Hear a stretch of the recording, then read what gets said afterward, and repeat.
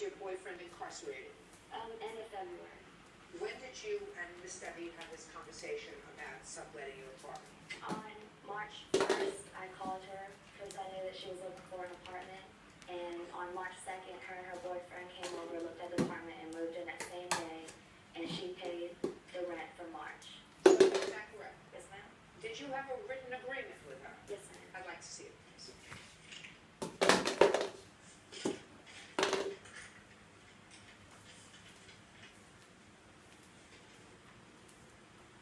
So it's a pretty straightforward agreement.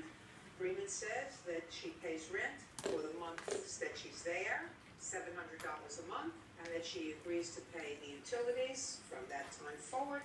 And there's no issue of utilities because that's not part of your complaint. So you paid March, And April. just you paid March, seven hundred dollars. Did you pay April? I understand, of course. Did you pay April? Yes. Seven hundred dollars in April. And when did you move out? I moved out May the second. Is that correct? She's lying. When did she move out? She moved out June first. She says she moved out May second. What proof do you have that you moved out May second? I was there. And I have all this from the empowerment people. My friend was, I paid April, ma'am. Just a second. The one that we're questioning is May. Yes. Tell me your name. Ryan Murphy. Mr. Murphy, you seem hell-bent on telling me your story, sir. You work with these two ladies? Yes, ma'am. What do you know about when Ms. David vacated the apartment?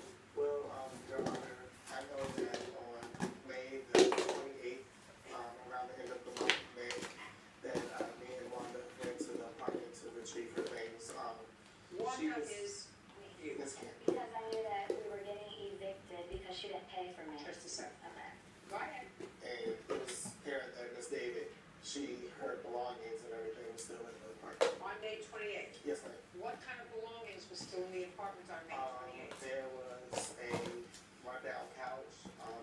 this still.